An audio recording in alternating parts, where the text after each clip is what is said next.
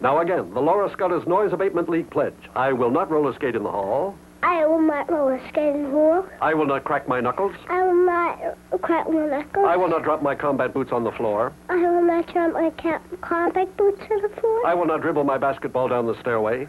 I will not dribble my basketball down the stairway. I will not practice Little League cheers before 11 a.m. on Sunday I will morning. not Practice. practice League cheers before 11 a.m. on Sunday morning. I will not encourage dogs to bark I or cats not to yowl. I will encourage cat to bark. Dogs. Cat, um, Cats. I will not encourage dog to bark, cat to yowl. I will not kick tin cans. I will not kick the can. I will not slurp my soup. I will not slurp my soup. And this I do willingly. And this I do willingly to compensate for the noise I make when eating Laura Scudder's potato chips, the noisiest chips in the world.